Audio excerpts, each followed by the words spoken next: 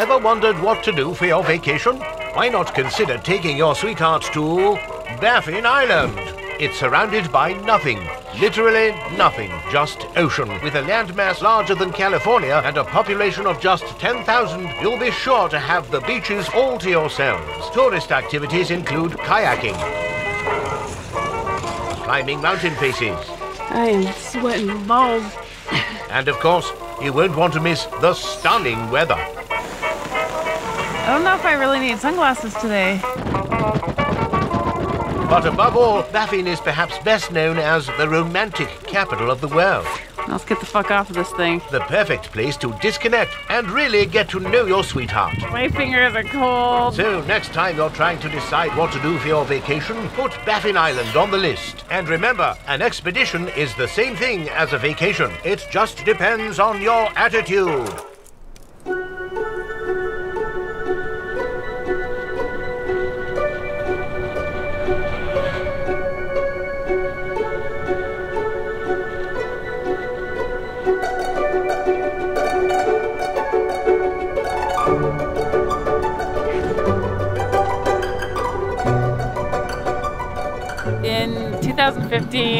Erik Boomer and I uh, circumnavigated Baffin Island by dog team, and we spent four months cruising around the entire island and came right past here. And we're just in awe. And ever since, we've been talking about we need to go back. We need time to really explore this area. This trip is a true multi-sport trip. We're going to be climbing some big objectives and we're going to be kayaking some real white water. We're going to have to haul across miles of sea ice. We headed out with 45 days of food, climbing gear, kayaking gear.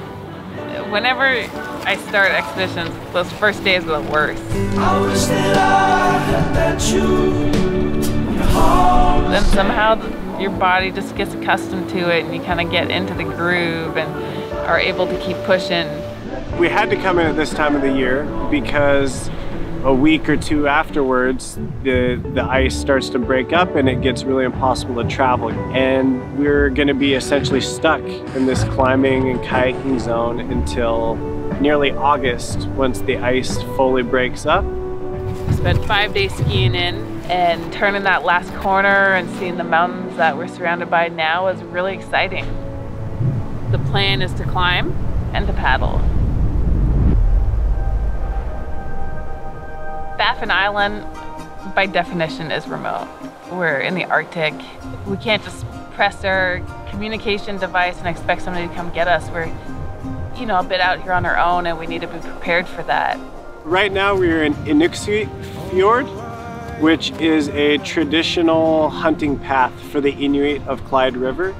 We're out here exploring, but this is this is a very common travel route for thousands of years. These mountains are big and massive approaches, like three to four hours just to get to the bottom of them.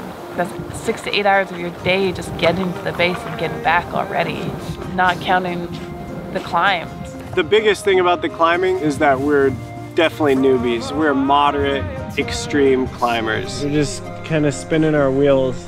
Can't figure out where to go. A lot of these routes are just huge. For us to even get close to the top, we're spending over 24 hours on most of these climbs. Pretty incredible. The one climb that we always had eyes on was this really cool pinnacle. I'd give ourselves like a 40% chance of getting to the top.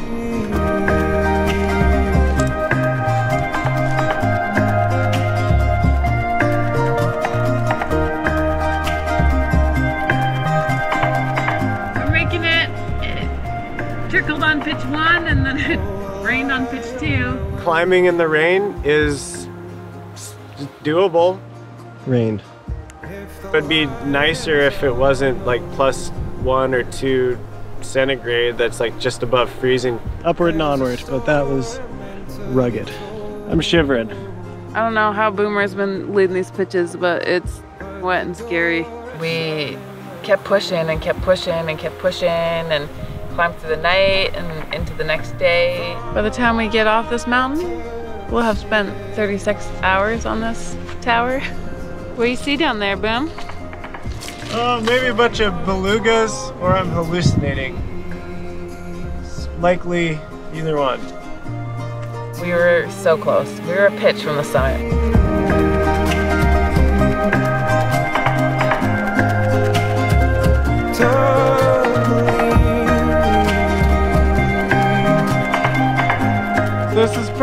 As far as we'll go. It's just, it's tough. We're definitely having like second thoughts here, but the truth is, is that it's amazing that we even made it this far because we barely know what we're doing. I love the long days. I love to push really, really hard. But we're so new at climbing that it's really good to recognize when maybe it's not a good idea to keep pushing. We're definitely on the edge of, you know, our limits and being scared and now it's time to go kayaking. Go do something we're a little bit more familiar with. We left base camp with 21 days of food and our boats were extremely heavy. I don't know how to describe it except for pain. At the end of the day, it's just hard work. Sufferfest 2021. Boomer is an amazing kayaker. He's been kayaking his whole life. When he looks for rivers, he's looking for big drops, exciting rivers, big white water. Some of them are way too big, way too dangerous, but we were lucky to find a bunch of good runnable drops.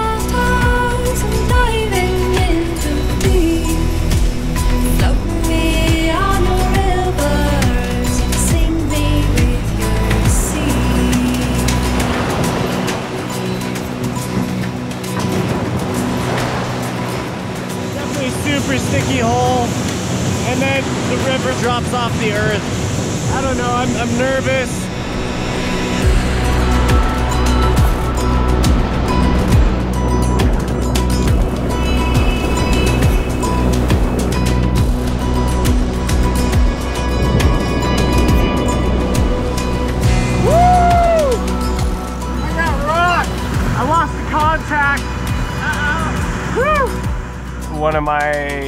Greater joys in, in kayaking these days is watching Sarah grow and progress. She has been coming into her own on kayaking the past few years.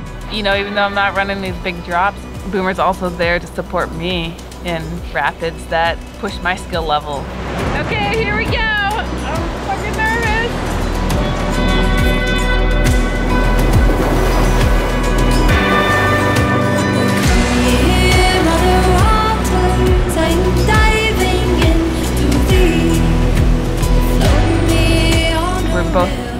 Helping each other kind of achieve our goals. Even though my version of pushing myself is a scary class four rapid and Boomer's version of pushing himself is a huge waterfall. I'll show you the line if you want to run it. Okay, yeah. You show me the line. Thanks, babe. The next river we found ourselves on, uh, just upstream, was a slightly larger river. We started scouting it, and in this gorge around the corner were two large waterfalls. The top drop was just a perfect sheer spout waterfall, 50 feet, and the lower drop was about 60 feet in total. There's a lot of anticipation thinking about it, and we hiked up there, and it was literally the coldest day of the trip. And Boomer wanted to do it anyway. This would be a really bad place to put Sarah in a bad position. Definitely don't want to get knocked out or break a back. I always get a nervous feeling when he runs his big drops. I think he makes really good decisions, but there's always a chance that something goes wrong. Setting your boat on the ledge where you're going to get in, launching into the water and taking those first few strokes, those are hard moments.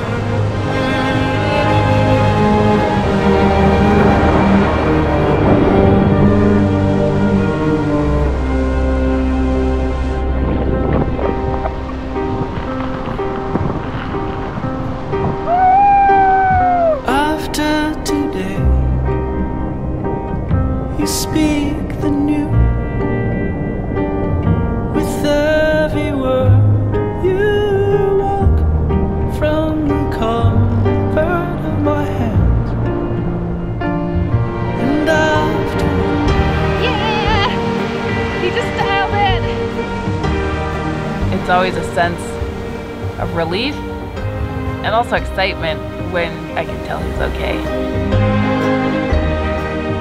Oh man, Oh, you're a little bloody. yeah, a little bit. I have no clue where that happened. I feel so lucky right now, and I feel like I'm the luckiest dude ever to have you. Aw. You are the best girlfriend ever. Aw, you have blood all over your lip.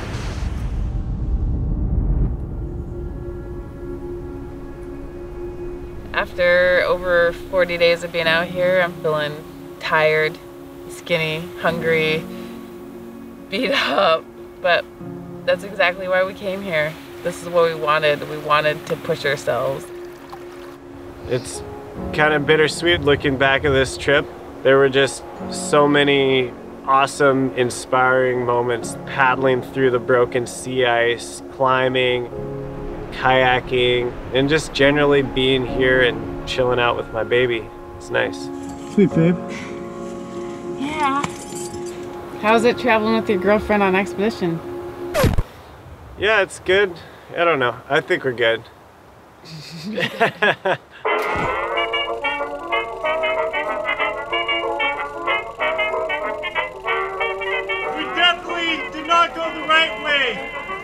but at least we're just going. don't do it. Whatever you do, don't follow our line.